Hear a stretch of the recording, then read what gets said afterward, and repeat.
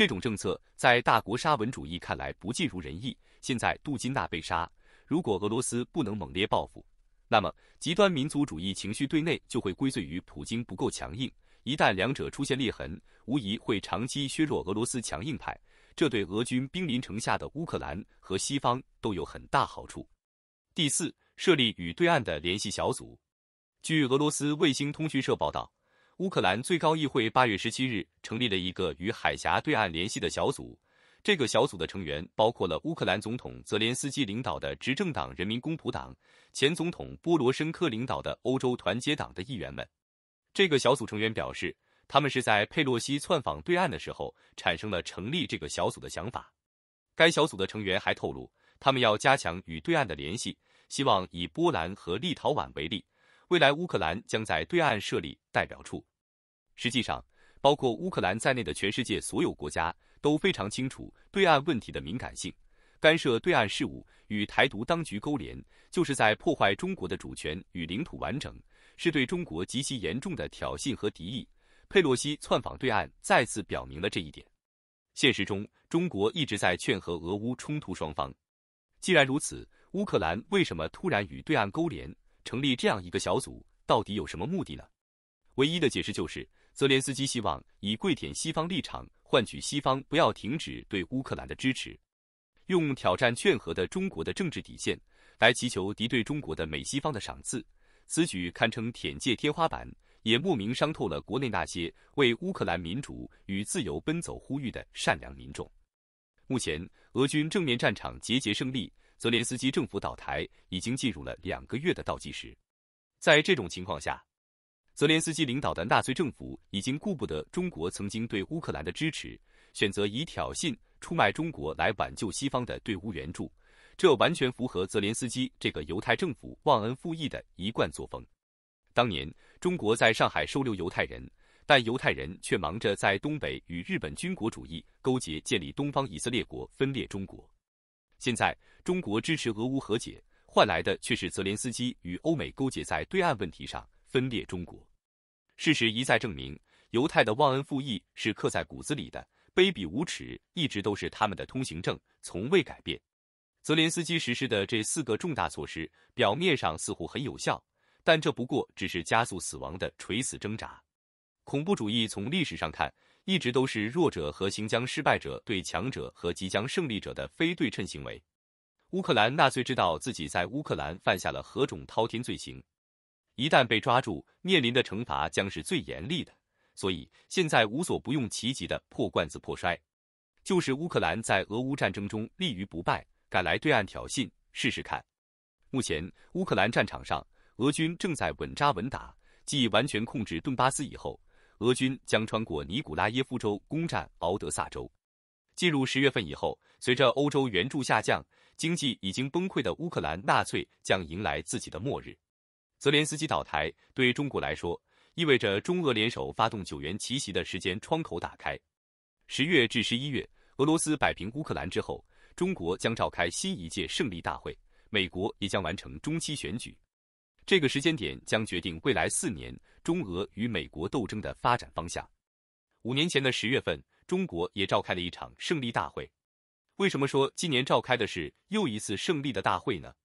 五年前的二零一七年十一月八号，俄叙联军攻克由英美训练的 ISIS 恐怖分子在叙利亚境内的最后一个大型据点阿布凯马勒。全面正式铲除 ISIS 等国际恐怖分子，中俄联手扭转了美国独霸中东地缘局势。五年后的十月到十一月，我们再次召开胜利大会，届时俄罗斯将再次在战场上铲除英美支持的乌克兰纳粹政权，逆转北约东扩局势。五年前，我们铲除了英美扶持的国际恐怖主义雇佣军；五年后，我们再次铲除了英美扶持的纳粹主义雇佣军。历史在不断重演，虽然地点不同，场景不同，出场人物不同，相同的是，我们终将迎来新一场胜利。二零二二年胜利大会召开前后，中国国家统一时间窗口将全面打开。一旦选择最佳时机完成国家统一，不仅能够洗刷百年耻辱，还将获得巨大的政治、军事和经济利益。这些利益主要分为以下几个方面。第一，收编一千四百五十，打造中国心理信息部队。在俄乌战争中，乌克兰军队在军事行动中唯一的亮点就是其心理信息作战大队。乌克兰于二零一六年建立了乌克兰武装部队的专门军事机构——信息和心理作战中心 （SIPSO），下辖四个心理信息作战中心。这些中心隶属于乌克兰特种作战部队，在英国军事教官的监督下运作。其中，第七十二作战中心就位于基辅东北部。该中心通过信息作战，成功捏造了创伤俄罗斯的布查惨案。在俄乌战争之前，乌克兰心理信息作战大队更是误导舆论。引爆俄罗斯境内的反普京游行示威，甚至已经部分影响到了俄罗斯总统大选。与乌克兰一样，对岸也建立了以一千四百五十为编号的心理信息作战部队。这些年来，我国在心理信息作战和对外舆论输出方面始终处在几乎空白状态。虽然近年国内舆论有所改观，但国际舆论对中国的妖魔化却始终如一。乌克兰心理信息作战大队作战已经表明。现代战争已经没有战时和非战时以及前方与后方的明显区别。混合战争模式下，舆论武器打击对国家的影响巨大。最为典型的就是对岸成立的一千四百五十已经渗透各大论坛、公众号以及短视频平台。他们能将任何评论扭转为对国家的负面评论。虽然我们在各大平台启动显示用户 IP，但要根除这些渗透进来的网军难度依旧很大。有鉴于此，一旦国家统一，中国就应该收编一千四百五十在内的心理作战部队，整编以后为我所用。这样不仅能破获美国对我信息战的手法，而且还能够创新出更高层次的心理作战方式，帮助中国逐步扭转在 Facebook 等国际社交媒体上的负面形象。其实，收编一千四百五十为我所用，在历史上已经有先例。康熙二十二年，即一六八三年。施琅率福建水师收复对岸，完成国家统一之后，清廷将对岸前领导人郑克爽、冯锡范、刘国轩等人全部加入满洲八旗。其中，郑氏家族领导的最精锐部队藤台兵归于满清镶黄旗。之后，在打击沙俄的雅克萨之战、平定噶尔丹、降服大小金川、对缅作战中，均立下汗马功劳。满清从康熙到乾隆时代夺取的三百五十万平方公里土地上，都洒下了藤牌兵的热血，是当之无愧的华夏子弟兵。所以，只要应用得当，一千四百五十网军一样可以成为开疆拓土的现代版藤牌兵。这里说明下，藤牌兵全称虎一藤牌兵，它跟《三国演义》中的藤甲兵不是一个兵种。第二，摧毁 CIA 在东亚最大情报中心高云城事件后。中情局将情报中心从高云城分别迁往菲律宾和对岸地区。对岸目前已经是中情局在东亚地区的最大情报中心，所以收复对岸则代表我国摧毁中情局在东亚的最大情报中心。八月八号，据美联社报道，在最近与该机构反恐中心领导人的闭门会议上，中情局二号官员明确表示，打击基地组织和其他极端主义团体仍将是一个优先事项。